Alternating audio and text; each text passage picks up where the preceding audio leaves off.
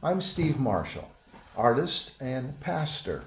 And on this Easter morning, I want to share with you the good news of Jesus' resurrection and what his empty tomb means for us today. Years ago, I would take our confirmation class to the shrine of St. Joseph in Yarnell to walk the stations of the cross. Each station is marked by a large wooden cross, and on each cross is a small sculpted relief depiction of that event in Christ's journey to Golgotha, and a metal plaque with a description, scripture verse, and prayer. At each station, we would pause, read the plaque, and meditate on what Jesus must have been experiencing at that time. At the end of the walk, there is a dramatic, life size sculpture of Jesus nailed to the cross. You can't help but be affected by the scene. I know the youth found it to be a very moving experience as it makes the events of Christ's crucifixion very real.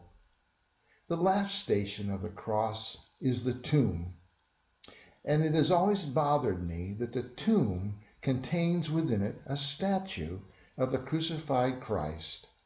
I would have preferred an empty tomb, for that is what the disciples found that Easter morning. Far too many of us have gotten to the cross. We have known suffering, despair, heartbreak, and we have experienced the tomb, that cold, dark place where it seems life has left us alone. But the real message of Easter is the message of the empty tomb. And the word I want you to hear this morning is that Jesus still moves stones. First, Jesus moves the stone of fear. In Matthew's account of the resurrection, the first words of the angels to the frightened women at the tomb were, do not be afraid. When they encounter the risen Christ, again, his words of comfort are, Do not be afraid. Fear is a powerful emotion. Fear causes us to live below our potential. It paralyzes us, causes us to play it safe. It keeps us from taking risks. When you try and lead a safe and secure life, you often miss the great purpose for which you were made. Fear breaks down the trust we have with each other in relationships. We fear what people will think if we take a stand, if we go against the flow. Fear breaks down the trust we have in God. It's one thing to believe in God, but it's another thing to trust God. Jesus says, don't be afraid. What's the worst fear we have? Death. But there's something worse than death, to be dead while you're still alive. There are some people who have stopped growing who are not really alive, but just existing. They're just taking up space. Jesus moves the stone of fear because he has defeated death. There is truly nothing to fear, nothing to limit your possibilities, nothing that can stop you from becoming everything God wants you to become. When Jesus moved that stone on Easter morning, he also moved every great stone that will ever block your path. Secondly, Jesus moves the stone of doubt. Doubt limits your possibilities. Doubt is the disease of, I can't do it. It is doubt that says, I can't overcome this problem in my life. I don't have the strength. I don't have the smarts. I don't have the resources. I can't do it. Doubt equals defeat. But Paul says, I can do all things in him who strengthens me. You see, with Jesus, anything is possible. God is a God who makes the impossible possible, a God who parts the seas so his people can walk through. Every problem you face has a God given solution. So, what's the problem you're facing right now? What limitation do you bring that is keeping you from becoming the person God created you to be? What doubts are keeping you from doing what you want to do in this life? Jesus can remove that stone of doubt. When the disciples found the stone rolled away and the tomb empty, they found hope. Doubts vanished. You see, the empty tomb proves Jesus was who he said he was. The importance of Christ is not in his teachings, but in his resurrection. If there is no resurrection, then Jesus was just another good teacher. But the resurrection is proof that he was who he said he was God's Son.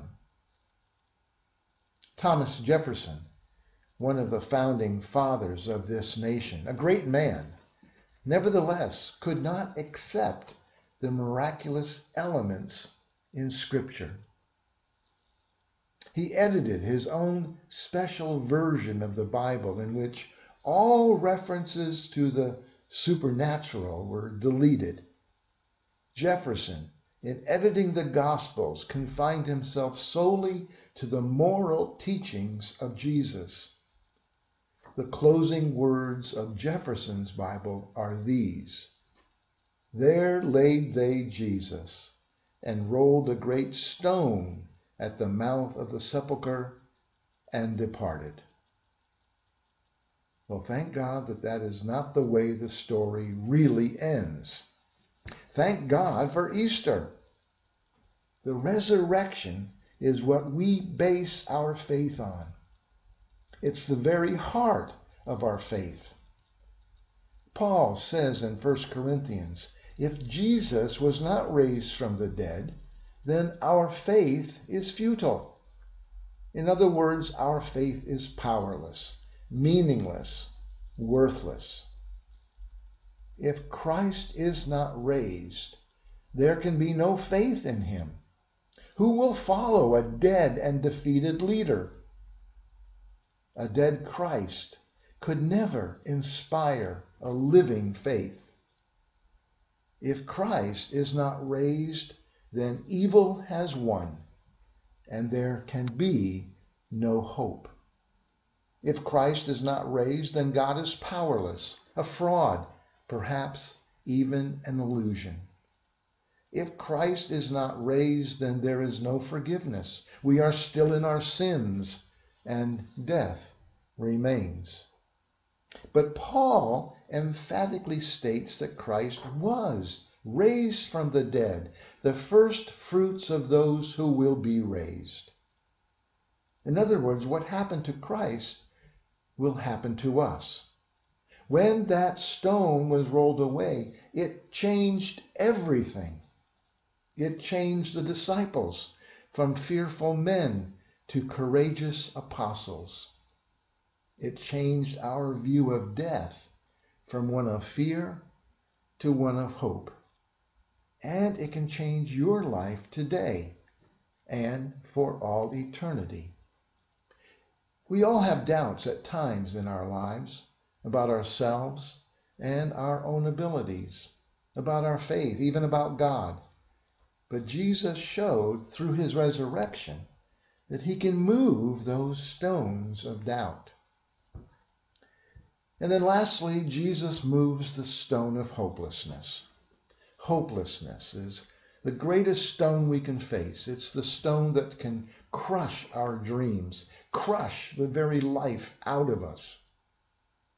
To give up hope is to give in to death because life no longer has any meaning.